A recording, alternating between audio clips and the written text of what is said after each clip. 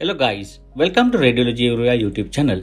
Today we are going to talk about three kinds of fractures including pathological fractures, stress fractures and insufficiency fractures.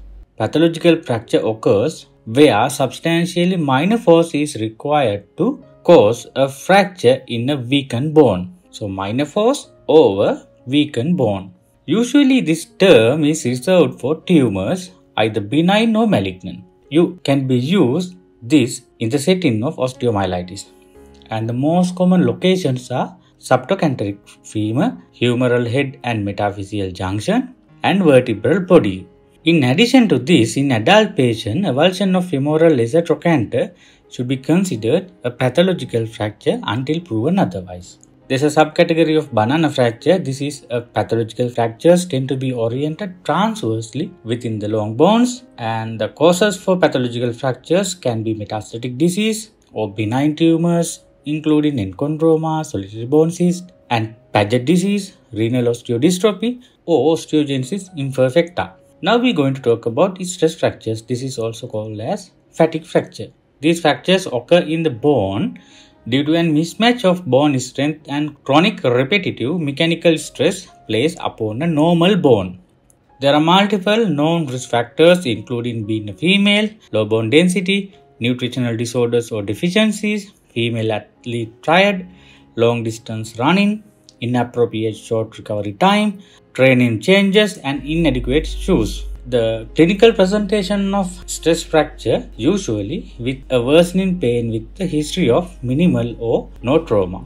And this type of fractures more common in athletes especially among runners and military recruits. And stress fractures occur more common in women and older people. When you're considering about the etiology fatigue fractures occur due to abnormal stresses on normal bone and insufficiency fractures occur with normal stress on abnormal bone. So that's how you can divide this kind of fracture. The common sites of stress fractures are lower limb than upper limb. These include metatarsal shaft, especially march fractures, then pubic rami, femoral neck, tibial and fibular shaft, calcaneal tuberosity, patella, and pars interarticularis of lumbar spine. When considering radiograph findings of a stress fracture, the plain X-rays are poor sensitivity in detecting stress fractures and during the first few weeks after the onset of symptoms, X-rays may look normal and it may take up to 2 weeks to be detectable fracture line. So what are the positive findings of a stress fracture in X-ray? You can see gray cortex sign. This is subtle loss of cortical density in early stage stress injury. And you can see increase in sclerosis or cortical thickening along the fracture site. And you can see the periosteal reaction or elevation. You can use the nuclear medicine to identify the fatigue fractures. You can notice there may be a focus of increased activity or hotspot. This is due to increased bone turnover at the site of new bone formation at fracture site. But this is non-specific. You can see similar changes due to osteomyelitis, bone tumor, or even with avascular necrosis. Other imaging modality is CT. The findings are similar to plain radiography. This includes sclerosis, new bone formation, periosteal reaction, and fracture lines in long bones. MRI is the most sensitive modality for stress fractures.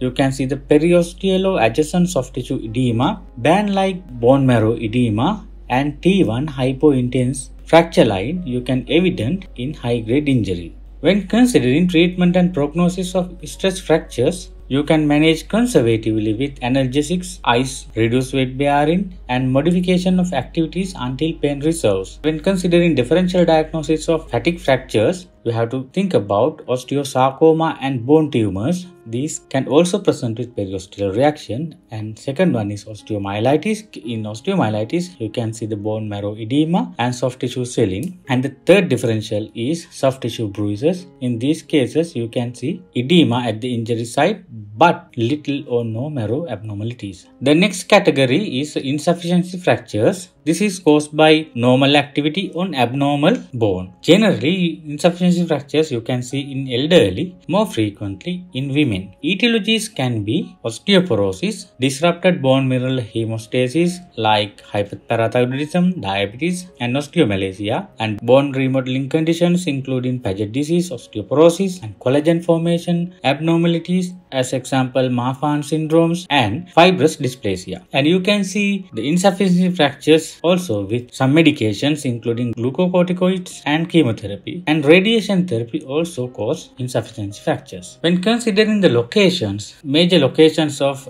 insufficiency fractures, vertebra. These can be either crush or wedge fractures. These are very common and marrow edema is limited to the vertebral body and you can see the extension of abnormal signal into pedicle this suggests underlying lesion and other locations of insufficiency fractures are sacrum you can see the honda sign there neck of femur proximal third of femur pubic rama sternum fibula and tibia Initial plain radiograph can be normal and you can see the periosteal reaction progress into callus formation in diaphyseal fractures. And you can see the linear sclerosis and cortical thickening. These are more frequent in metaphyseal and epiphyseal fractures.